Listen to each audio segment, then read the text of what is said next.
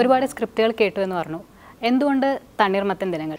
തണ്ണീർമത്തൻ ഇപ്പോൾ തിയേറ്ററിൽ കണ്ട ആൾക്കാർ ചിരിക്കുന്നില്ലേ? അതിനേക്കാൾ കൂടുതൽ ഞങ്ങൾ ആ സ്ക്രിപ്റ്റ് കേട്ടപ്പോൾ ചിരിച്ചിട്ടുണ്ട്.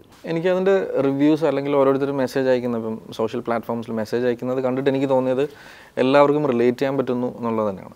സാധാരണക്കാർക്ക് റിലേറ്റ് ചെയ്യാൻ പറ്റുന്നു. ഒരു ഒട്ടും ഹൈടെക് അല്ല ഒട്ടും ടെക്നിക്കൽ അല്ല. അത് അതിൽ സാധാരണ ഒരു സ്കൂൾ സാധാരണ യൂണിഫോം ഇട്ട് സാധാരണ കുട്ടികൾ സാധാരണ സംസാരിക്കുന്ന പോലെ സംസാരിക്കുന്നു.